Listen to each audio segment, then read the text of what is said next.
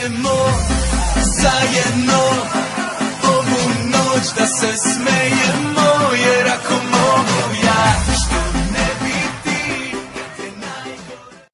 Buongiorno carissimi, oggi sono tornata con il consueto appuntamento dei libri letti del mese.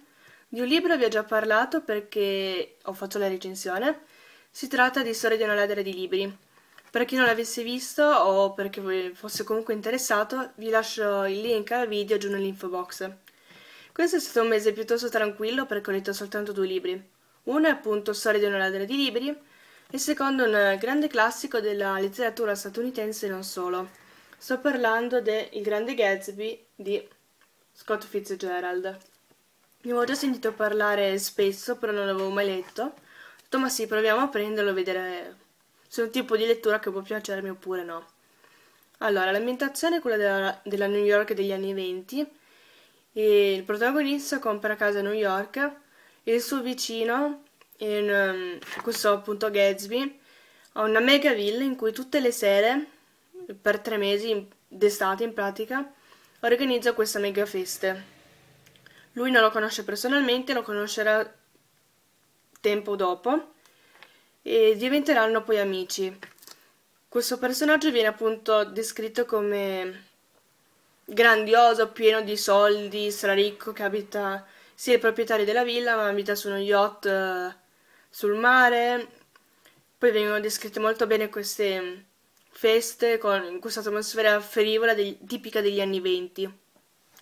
Però mano a mano che si va avanti con il racconto, eh, Fitzgerald è riuscito a descrivere perfettamente, diciamo un po' un retroscena, un po' de- dell'alta borghesia o comunque dei ricchi della società, e non solo dei ricchi, non solo dei, degli anni venti, ma diciamo che si può ritrovare anche nella società contemporanea, e cioè che eh, dietro tanta ricchezza molto spesso si nascondono invidie, intrighi, eh, cattiverie e anche tanta solitudine, perché alla fine, mano a mano che si va avanti, si capisce che questo Gatsby è diventato ricco un po' da solo, cioè si è fatto da solo, come si suol dire, e lui si è comprato questa mega villa e organizzava questi, tutte queste feste soltanto per dimostrare alla donna che amava che lui era del suo stesso ceto sociale, che era alla sua altezza, che